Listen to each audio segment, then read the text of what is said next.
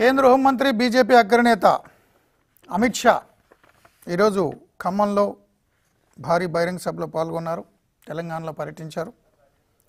BRS car steering Owaisi చేతుల్లో ఉందని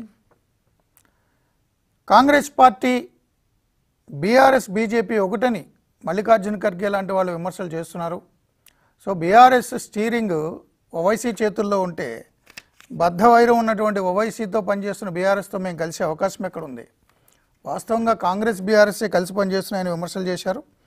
అదేవిధంగా పార్టీ నేతలతో జరిగిన మీటింగ్లో బీఆర్ఎస్ అసంతృప్తుల మీద నజరు పెట్టండి. చేరికల్లో స్పీడ్ పెంచాలి. వాళ్ళందరినీ మనం చేర్చుకోవాలంటూ సూచించారు. సో నిన్న కాంగ్రెస్ పార్టీ అధ్యక్షులు ఏఐసిసి అధ్యక్షులు మల్లికార్జున ఖర్గే డెక్లరేషన్.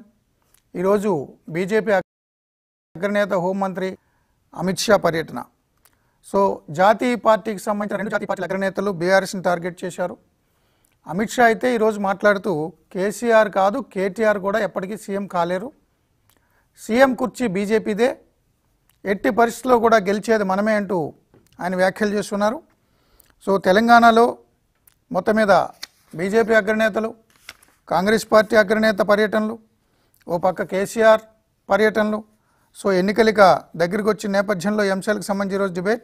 డిబేట్లో పాల్గొంటున్నారు బీఆర్ఎస్ సీనియర్ నేత దేవిప్రసాద్ గారు భారతీయ జనతా పార్టీ సీనియర్ నేత